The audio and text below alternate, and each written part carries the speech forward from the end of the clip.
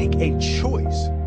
Like you just decide what it's going to be, who you're going to be, how you're going to do it. Just decide. And then from that point, the universe is going to get out your way.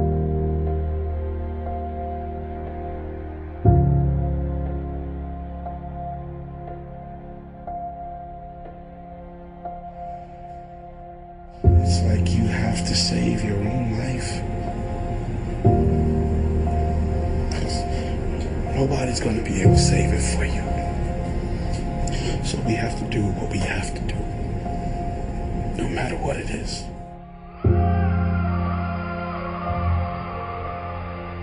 If you only have 24 hours in a day, your success is dependent upon how you use the 24.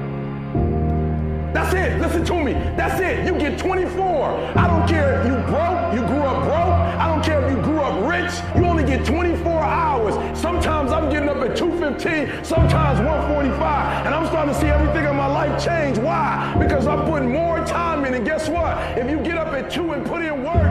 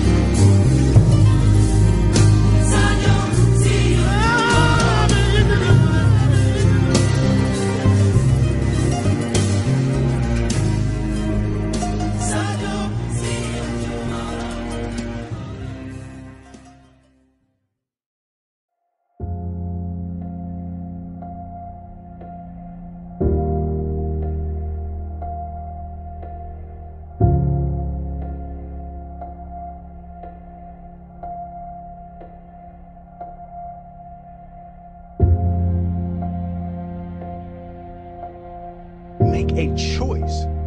Like you just decide what it's going to be, who you're going to be, how you're going to do it. Just decide.